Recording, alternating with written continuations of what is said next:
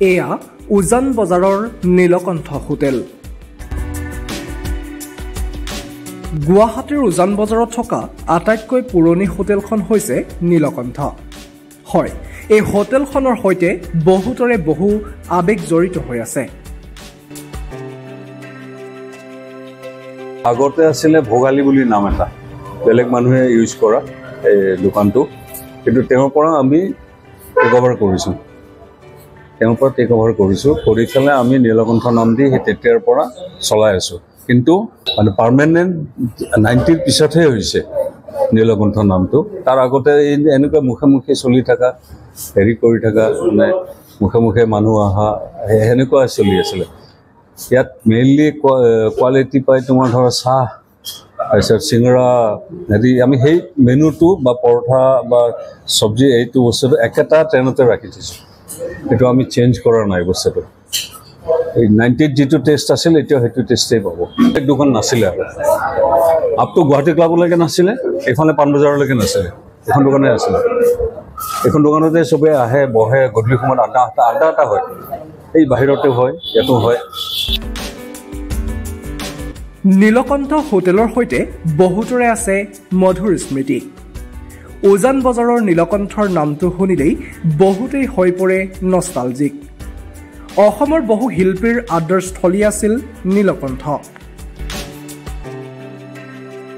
আড্ডাথলী মানে কি হয় আমাৰ ড্ৰামা চামা হৈ থাকে বা আগতে সূৰ্য ক্লাবৰ আণ্ডাৰত হৈছিলে এইটো। ক্লাবটো আছিলে ওপৰত হোটেলৰ ওপৰত। গতিকে গোটেই মানুহখিনি আহি ইয়াতে বহে আবেলি। চব যেনেকৈ ক্লাবত যায় বা হেৰি বুলি যায় বা এনেই এটা যিকোনো অৰ্গেনাইজেশ্যনত যায় মানুহখিনি বহে বহি পেলাই সেই তেতিয়া আড্ডাটো হয়। এইটোৱে চাহ খায় সিটোৱে হেৰি খায় জয়ন্ত দাসে মেইনলি আছিলে ইয়াতে এক্টৰ এতিয়া ঢুকালে তেওঁ। অলপ আগে কৈছোৱে পবিত্ৰ ৰাভাৰ কথা পবিত্ৰ জবিনৰ লগৰ সি তাৰপিছত তপন দাসত ভাল হেৰি এক্টৰ বা হেৰ- হেৰিয়ে। এতিয়া সেইবিলাক মানুহৰ ইয়াতে এটা আলোচনা বিলোচনাৰ জেগা আছিলে এইটো।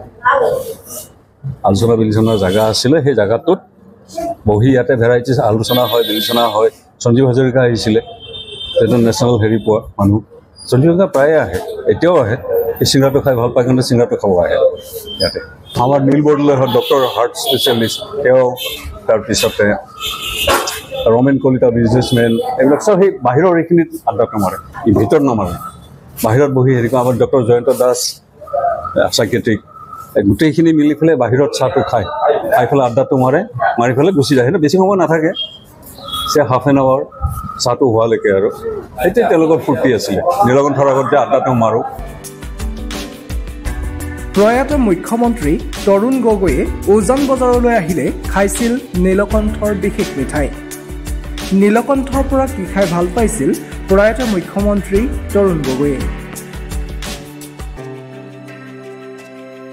তৰুণ গগৈ প্ৰগ্ৰেমত সদায় নীলকণ্ঠৰ পৰা ডাব ডাব পানী খায় তেওঁ।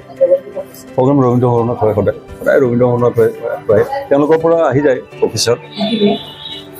এনেইতো তেওঁ খাবলৈ সেই কালাকান লয় দুই পিচ বা তিনি পিচ আৰু ডাব দুটা লৈ যায়।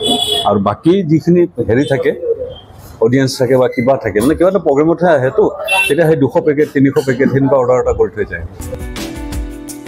ঊনৈছশ নব্বৈ চনতে প্ৰতিষ্ঠা কৰা নীলকণ্ঠৰ স্বত্বাধিকাৰী খনিম বৰুৱা।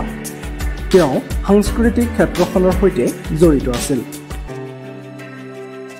আমি ৰাগ বিৰাগ বনাইছিলোঁ। বিদ্যুৎ চক্ৰৱৰ্তী বিদ্যুৎ চক্ৰৱৰ্তী আড্ডা মাৰিছিলে। মেক্সিমাম আড্ডাটো জয়ন্ত দাস বিদ্যুৎ চক্ৰৱৰ্তী মাৰিছে। এই এনেকুৱা টেবুলতে বহি পেলাই আড্ডা মাৰে। চাহ খাই থাকে হেৰি কৰি থাকে। আৰু তাৰ পৰা প্ৰডাকশ্যন এটা প্ৰডাক্ট বাহিৰ হয়। হয় ড্ৰামাৰ কিবা আলোচনা হয় নহ'লে ক'ৰবাৰ কিবা আলোচনা হয়। আল্টিমেটলি গৈ পেলাই সেইখন ইমপ্লিমেণ্ট হয়। হয় ৰবীন্দ্ৰ আগতেতো কলাক্ষেত্ৰ নাছিলতো গতিকে ৰবীন্দ্ৰ ভৱনতে আমি মেক্সিমাম হেৰি কৰোঁ। হিচাপেতো প্ৰাউড ফিল এইটো। ইমান বিলিয়ন মানুহবিলাকে যে এই ইমান সৰু দোকানখনৰ পৰা খাই আছে সেইটোও ডাঙৰ। আজি তৰুণ গগৈ ঢুকাই গ'ল কিন্তু তেওঁতো খাই গৈছে ন? আৰু যিখিনি মানুহে এতিয়া খাই আছে এক্টৰে হওক হেৰিয়ে হওক হয়তো অলপ আগে পবিত্ৰ ৰাভাৰৰ কথা ক'লোঁ হেৰিও ক'লোঁ তেওঁ বন্ধটোত চাইল্ডৰ হেৰিৰ ওপৰত আলোচনাটো ইয়াতে হয়। কেনেকুৱা প্ৰগ্ৰেমটো কৰিম? সৰু সৰু ল'ৰা ছোৱালীবিলাকৰ ওপৰত সেইটো হেৰি হয় প্ৰজেকশ্যন হয় বা কিবা হয় সেইটো বিদ্যুৎতে কৰিছিলে আৰু। ইয়াতে বহি বহি। নাট্য মন্দিৰত তেওঁ কিবা প্ৰগ্ৰেমত আহি পেলাই ইয়াতেই বহি পেলাই দুপৰীয়া খাইছে বা হেৰি কৰিছে। সেইবিলাক মোৰ কাৰণে প্ৰাউড ফিল এইটো এইটো এইটো ডাঙৰ কথা এইটো। সঞ্জীৱ হাজৰিকাৰ নিচিনা মানুহ যদি ইয়াত আহি পেলাই বহি আলোচনা বিলোচনা কৰে বা কথা পাতে হে সেইটো সেইটো কিমান ভাল লাগিব বস্তুটো।